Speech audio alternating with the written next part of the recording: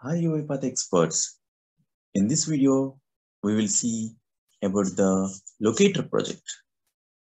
Navigate to the botsdna.com and in the Ginger package, the first project locator. Just click on the locator. I will tell you, so what is the requirement? The requirement is the bot has to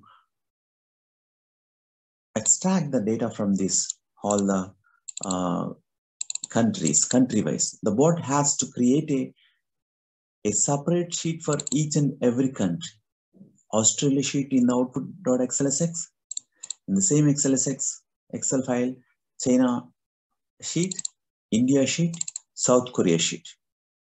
And in that Excel, there is a two columns. One is the customer name and the second one is the number of customers, number of locations, sorry, number of locations. The board has to read from the locator table. Uh, for example, let's take Australia. If it is a zero locations, it has to ignore that particular customer in that particular country sheet. So Australia, ignore these things and start from the McDonald's, one location in Australia, the one location in Australia, Maruti Suzuki, five locations in Australia. Okay, in the same way, the robot has to fill the same details in the ch China, uh, wherever it is a zero, just skip that particular part. So here it will skip, it will skip, it will skip, it will skip, and it will write down this data into the Excel. This is a sample output Excel. The sample output Excel uh, is the yeah, let us download this Excel. The Excel contains the country name and customer name and number of locations. So country names, this country names is not static. Please do not keep these country names in the static string array. It will vary each time.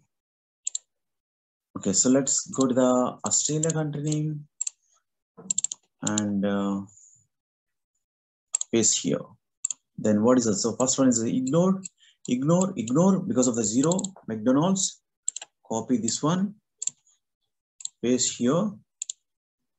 What is the location? One. Number of locations is one for the Australia McDonald's. Just type one. Okay.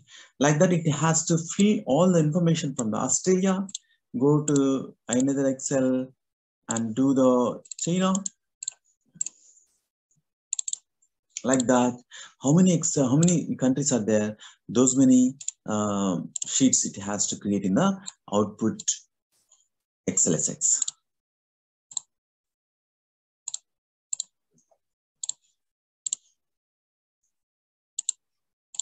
yeah this is a requirement. Okay. This is a requirement